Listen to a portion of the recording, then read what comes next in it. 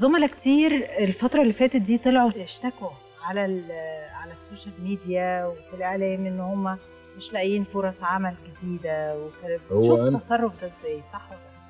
آه، هو أنا جت عليا فترة في في لقاء سابق آه، طلعت بس أنا ما اشتكيتش. أنا قلت إن يا إخوانا أنا ما باخدش اللي يكفيني في ظل الغلاء اللي إحنا عايشين فيه ده.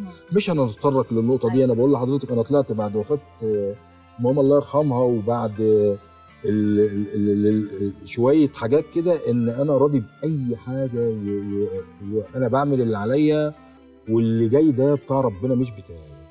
بس ففي حالة آه، رضا يعني. دي. مخلية بقى هو كل فعلا حاجة في حالة رضا. أنا شايفة إن حضرتك في أيوة. حالة رضا وحالة أيوة. زهد. آه. الحمد لله. ده يعني أكيد بتوصل حضرتك بعد مواقف كتير. يعني مش بتيجي كده بالساهل حالة الزهد وحالة الرضا وكده لا مش بالساهل طبعا مش لا مش بالساهل. بس هي في الأول وفي الآخر بتبقى نعمة يعني. يعني اللي هو انت مش فارق معاك. أنا مش فارق معاك. أنا هيجي لي شغل حلو هعمله هيجي لي شغل وحش مش هعمله. وهل حالة الزهد دي جات لك بعد وفاة والدتك؟ آه طبعا. أنا لما والدتي توفت ونزلتها بإيدي كده حسيت يعني إحاسيس.